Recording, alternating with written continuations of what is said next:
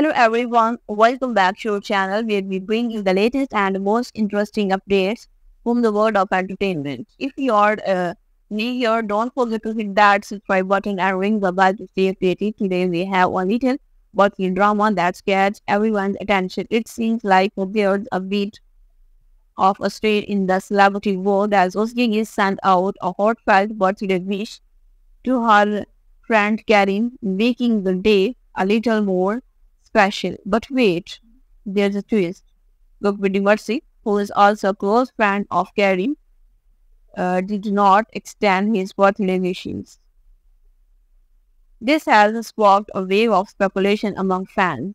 Did Gökberk simply forget or is there more to the story? While we love a good mystery, we also know the importance of friendship. So here's hoping that uh, everything is all good between the Pauls. After all, birthdays come once a year, but friends are forever. That's all for now, folks. Remember, in the world of showbiz, things are uh, not always as uh, the same. We will keep an eye on this story and bring you any updates. Until then, keep spreading love and positivity. Thanks for watching. See you in the next video.